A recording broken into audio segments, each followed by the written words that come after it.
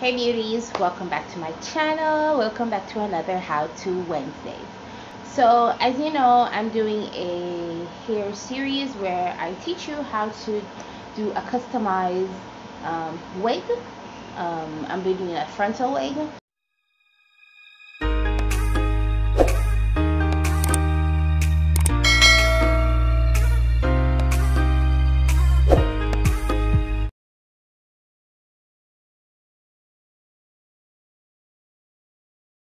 yeah so last video i spoke about um, how you measure your head. Uh, now we're going to do the transferring of those measurements to the wig block. Yeah so um,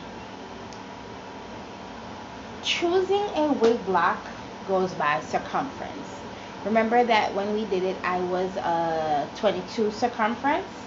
So I'm using a 22 a 22 inch wig block which is that's my circumference of my head and this is by GEX um, this one I bought from a um, a supplier down here in Jamaica but you can get these off Amazon and you can get the tripod stand off Amazon too. I have two.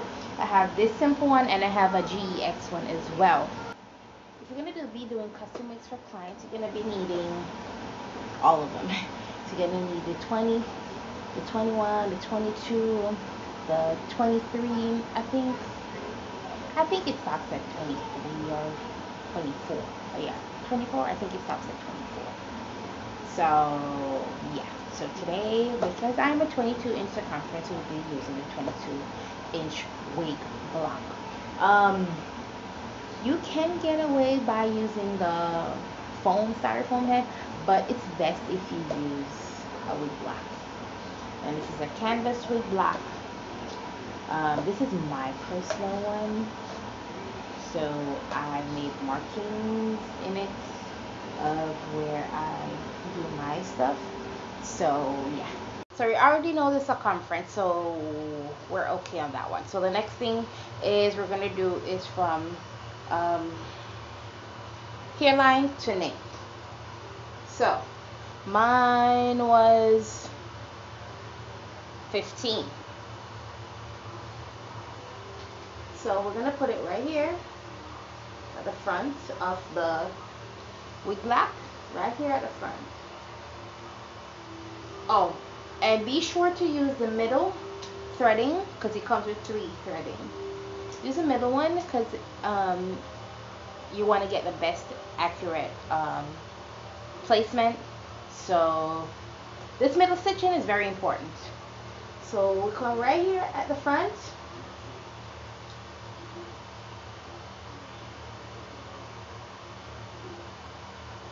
We'll go all the way to the back to 15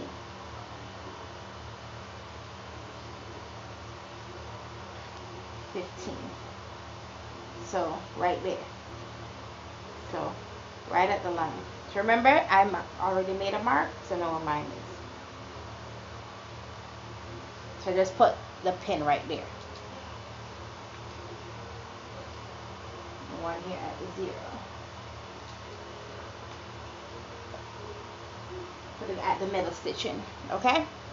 I'm gonna do my nape first. So remember my nape was 5 so this is 5 so half of 5 what I do I bend it. I bend it. Bend it right here. So half of 5 we already know is two and a half. So what I'm going to do is take a T-pin place it right there at the two and a half. Put it right on it. Two and a half, right? Then we bring it to the end, to each end.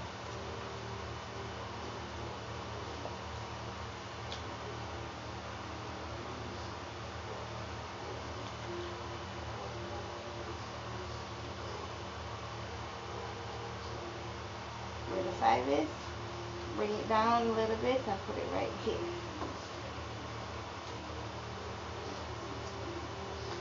So that's my nape area.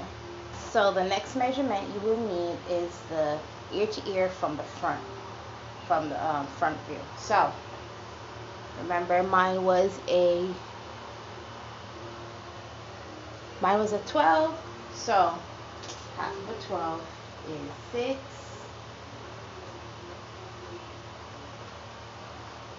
so 6 right in the middle across to 12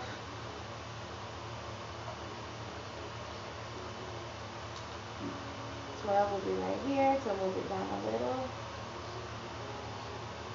And then right there. Next one to the zero.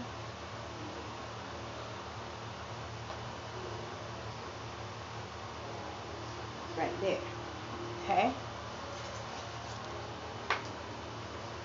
so ear to ear from the front which is right here so this is it so the next one we're doing is ear to ear from the top.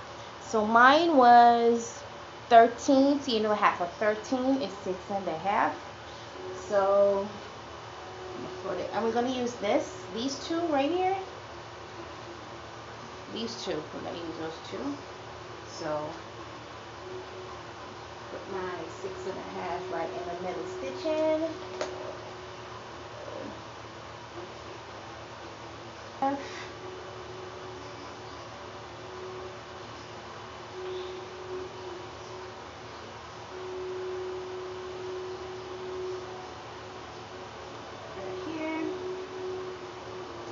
Next one, 13,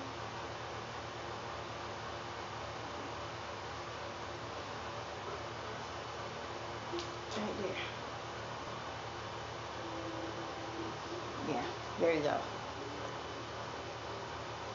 So that's this one from the top. So when I am doing it, I normally go from the top one, which is from ear to ear up top. Because remember, when I'm putting it on, I'm gluing it down, I have to cut around the ear. So I normally use the top one and not the bottom one. Understand? Because remember, um, most times, depending how the wig is made, um, it doesn't fit exact. Most times. Uh, some people heads are big, so it's perfect. But in the instance that it's not, um, I go over. I use a top one instead of this one.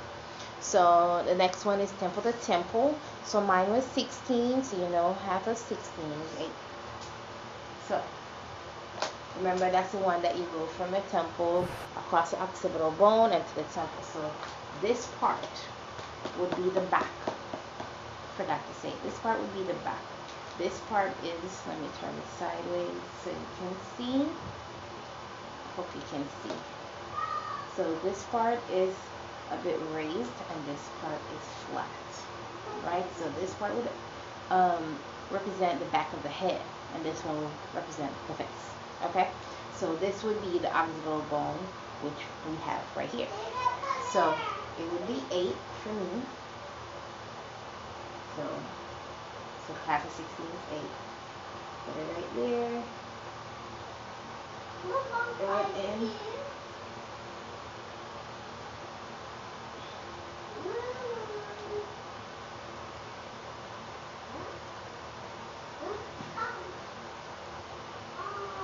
Right there. So this part. 16.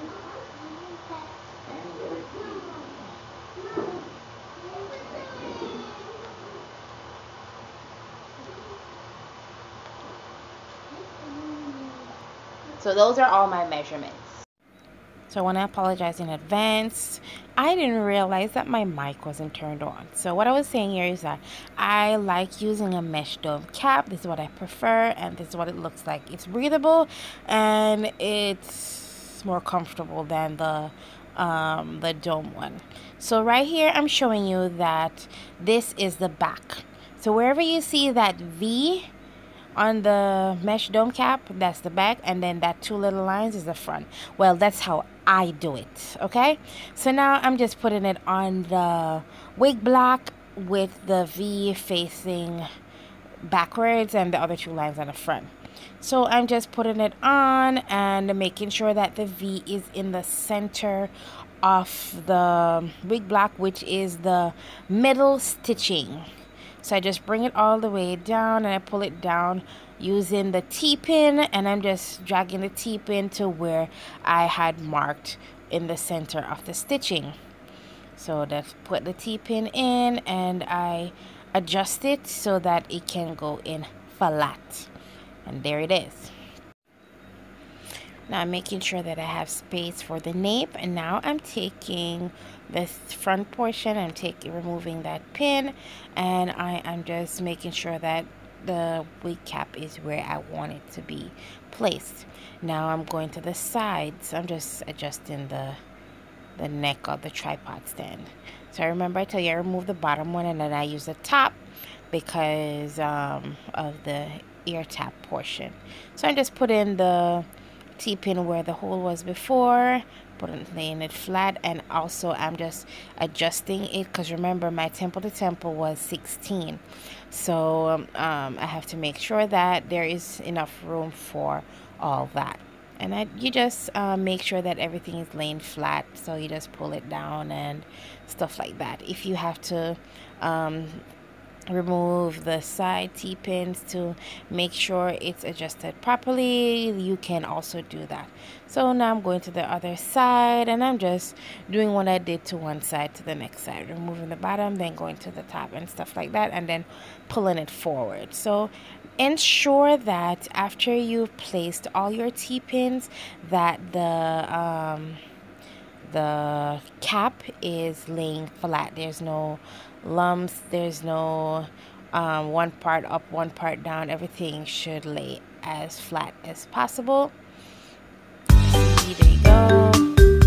Coming around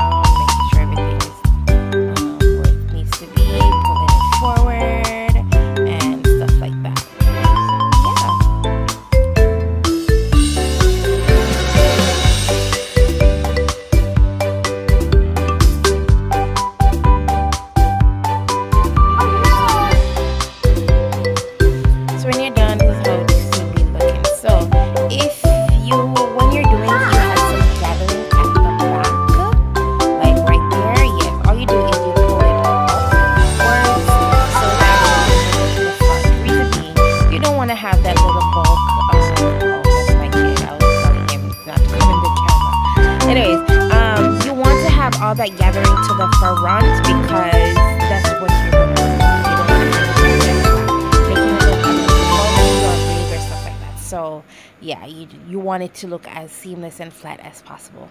When I'm making a wig for myself, I to me don't matter. the bigger the better for me because I have a lot of hair. But yeah, that's what you do. So yeah that's it right there look at it look at it so the next um the next video is how to to place your frontal to stitch it down and then I'm going to show you my um my stitching pattern and also my um how I um sew my my bundles I'll ensure that I list some stuff and talk about some stuff in my description bar below. Um, so thank you guys so much for watching this video.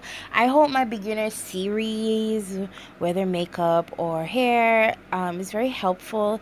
If you do try it out just uh, let me know whether inbox me or tag me in it saying hey formosa fantasy taught me how to do this stuff like that. So yeah. Thank you guys so much for staying through to the end. I hope you guys enjoyed and it was helpful. Don't forget to follow me on all my socials with links in the description bar below. Bye, beauties.